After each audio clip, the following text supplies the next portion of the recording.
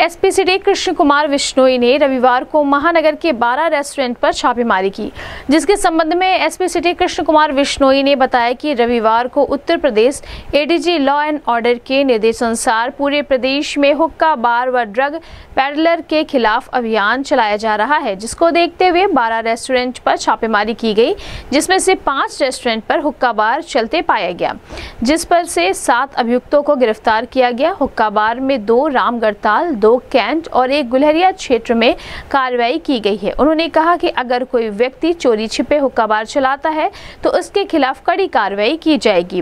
वहीं इस संबंध में ADG law and order Prashant Kumar ने बताया कि 21 अगस्त को हुक्का बार एवं अवैध मादक पदार्थों के तस्करों के विरुद्ध प्रदेश के सभी जनपदों में एक साथ अभियान चलाया गया, जिसमें प्रदेश के 22 कमिश्नरेट जनपद आगरा, बरेली, गोरखपुर, बस्ती संत कबीर नगर सिद्धार्थनगर, इटावा, हरदोई, रायबरेली उन्नाव, अयोध्या, बाराबंकी, मेरठ, गाजियाबाद, सहारनपुर, गाजीपुर, आजमगढ़, लखनऊ, कानपुर, वाराणसी, प्रयागराज गौतम बुद्ध नगर में संचालित तीन हुक्का बारों में दबिश और चेकिंग की कार्रवाई की गई।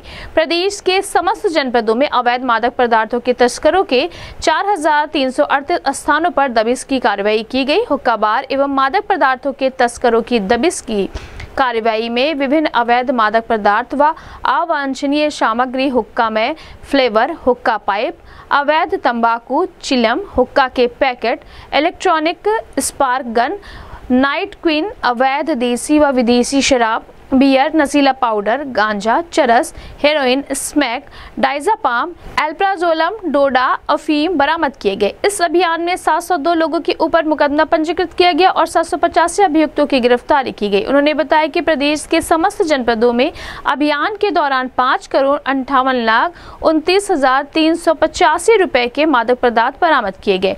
इस संबंध में गोरखपुर न्यूज़ से बात करते हुए एसपी सिटी कृष्ण कुमार विश्नोई व प्रदेश के ADG law and order Prashant Kumar Kumar ने कहा। क्या नाम है? तुम्हारा क्या नाम है? बिट्टू। क्या नाम है जगह का?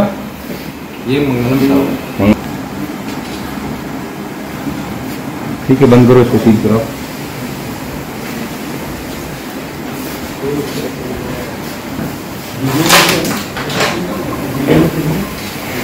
होटल ले।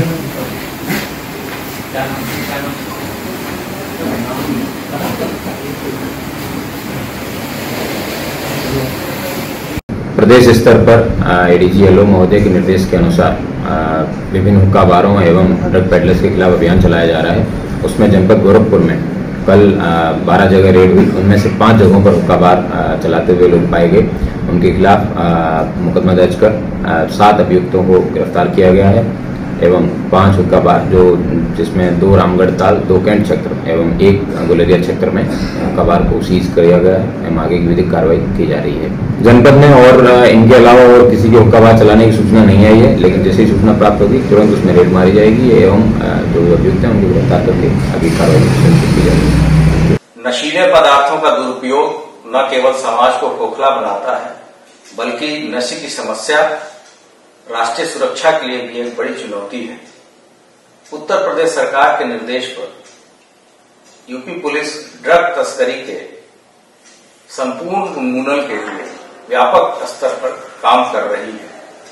इस, इसी कड़ी में दिनांक 21 आठ 2022 को यूपी पुलिस द्वारा हुक्का बार एवं अवैध मादक पदार्थों के तस्करों के विरुद्ध प्रदेश के 18 जनपदों एवं चार कमिश्नरेट में संचालित 342 हुक्का बारों एवं अवैध मादक पदार्थ की तस्करों के 4,338 स्थानों पर चेकिंग व दबिश की कार्रवाई की गई। इस कार्रवाई में विभिन्न अवैध मादक पदार्थ व अवांछनीय सामग्री बरामद किए गए जिसमें 702 अभियोग पंजीकृत हुए हैं।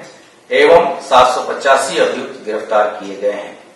इस अभियान के दौरान अवैध मादक पदार्थों की बरामदगी का मूल्य अनुमानित पाँच करोड़ अंठावन लाख उनचास हज़ार तीन सौ पचासी रुपये है, जो अपने आप में एक सराहनीय उपलब्धि है।